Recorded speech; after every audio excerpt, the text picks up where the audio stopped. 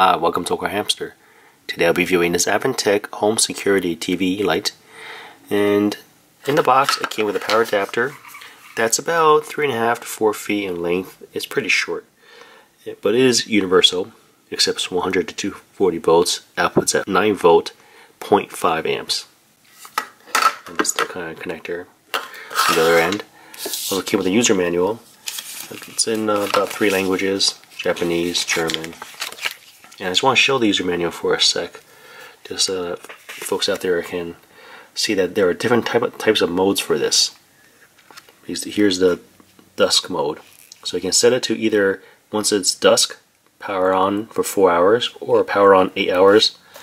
And then the third mode is to have it constantly on. Show that here for a sec.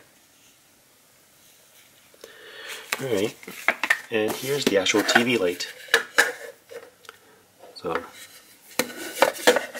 back, there's some of the specs again. Power voltage. So here's a flip. So off, dusk 4 hours, 8 hours, and then on. Bottom here, this is where I'll plug the power cord into. The power cord is plugged in. Currently it's off. I'm to set it to 4 hours. So when it's not 4 hours and it's not dusk, be the light sensor. You can tell that's 4 hours because of the bluish LED. If I set it to 8 hours, it's red. And of course then there's on.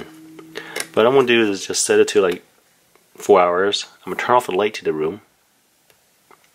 And momentarily you'll sense that it's dusk and power on. And right now I'm shining the camera on the wall. So when this is facing towards the window, essentially it'll give the uh, the the feel, the look and feel that someone's inside the house watching TV. And it cycles through. It's not a consistent image. I'm outside my home right now, and on the second floor window, you can see that the light is changing. That's the room where I have the TV security light posted, and the color's changing. It's flickering a little bit. The shades are pulled down about 80% away and I just left a little bit opening just so that people still see partially inside and the light inside the room uh, the one that's flickering from that TV security light makes it seem like someone's in the room watching TV. I'm very happy with this product. Low power consumption, very easy to use. Kind of wish that came with a longer power cord, but that's really minor.